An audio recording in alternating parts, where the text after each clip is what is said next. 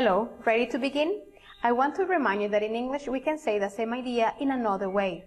Does active and passive voice ring a bell? Stay and find out. Page 59. Exercise 3. Grammar focus. Have or get something done. Use have or get to describe a service performed for you by someone else. Active. Do you know where I can have someone fix my bike? You can have Hazel's personal services fix your bike. You can get a repair shop to fix your bike. Passive. Do you know where I can have my bike fixed? You can have your bike fixed by Hazel's personal services. You can get your bike fixed at a repair shop. I know this is not new for you. Active and passive, remember? We have told you that in English we may say the same sentence in another way.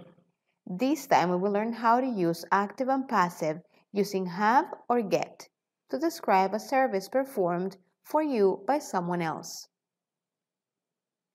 As always, let's work on active first. You can have a repair shop fix your bike. We're using have plus someone plus base form of the verb. Let's type an example using get. You can get a repair shop to fix your bike. Get plus someone plus infinitive verb. Moving on, we have passive. You can have or get your bike fixed. It's optional to write at or by a shop. Have or get plus object plus past participles. It's optional to use at or by.